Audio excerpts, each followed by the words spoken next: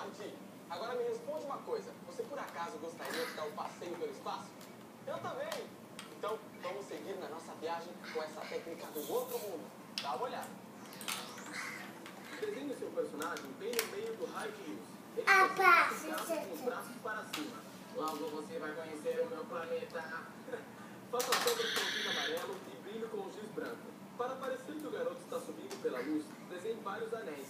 Anéis ao redor do meu planeta. Agora falta completar a parte de baixo. Essa linha verde indica onde termina o planeta Terra. Esfume com o dedo. Agora, como toque final, vamos desenhar algumas luvas e passar os dedos para dar um efeito misterioso. Desenhe quantas você quiser. Opa! Genial, é mesmo? O efeito de raio de luz ficou incrível. Esse nosso amigo está indo para uma viagem dos seus sonhos. Agora, eu te convido a passear por outras ideias. Dá uma olhada nesse personagem aqui, por exemplo. Ele está numa caverna bem escura e acaba de descobrir pinturas que nós, seres humanos, fizemos há milhares de anos.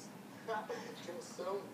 Agora, dá uma olhada nessa. O que, que você acha dessa patinadora? É uma verdadeira estrela das pistas. Mas ela não é